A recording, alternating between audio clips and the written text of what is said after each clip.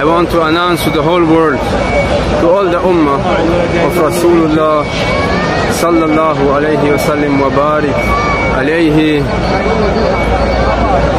that I give testimony.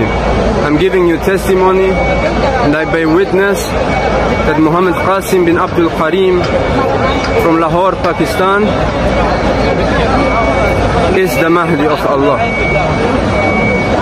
He is the chosen one. He is the guided one. And I make you all my witness to it.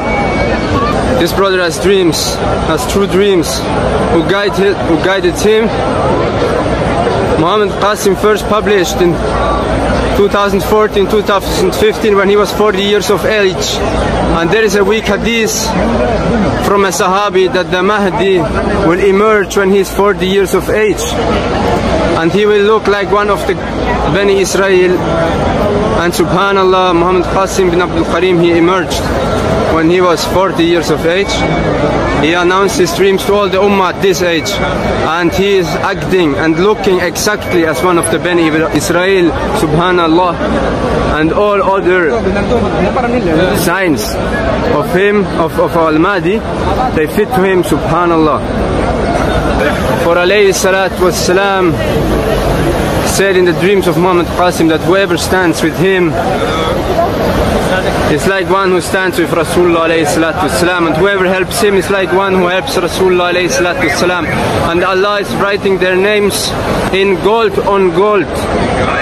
In gold on a gold book. Subhanahu wa ta'ala and seeking knowledge is an obligation upon every single Muslim man and woman.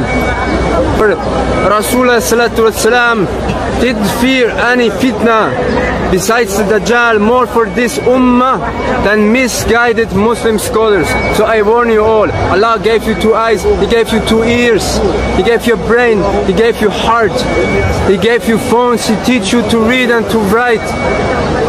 So go and look for yourself, do your own research. Okay? Use your aql, use your brain.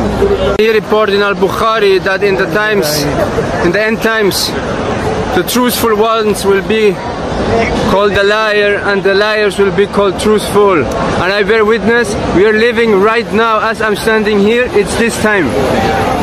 And as well, the only part of prophethood that is left that is left after the decease of alayhi salatu Salam, is mubashirat is true good dreams from a believers.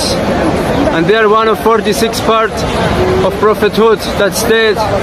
And especially in the end times Sahih al-Bukhari Rasulullah said in the end of times the dream of a believer can hardly be false and the one with the most truthful dreams is the one with the most truthful of speech Allah be my witness May the curse be on the liars. May Allah strike me right now dead here. I'm standing here. If I'm one of the liars, if I am lying. أعوذ بالله من الشيطان الرجيم اللهم صل وسلم وبارك على سيدنا محمد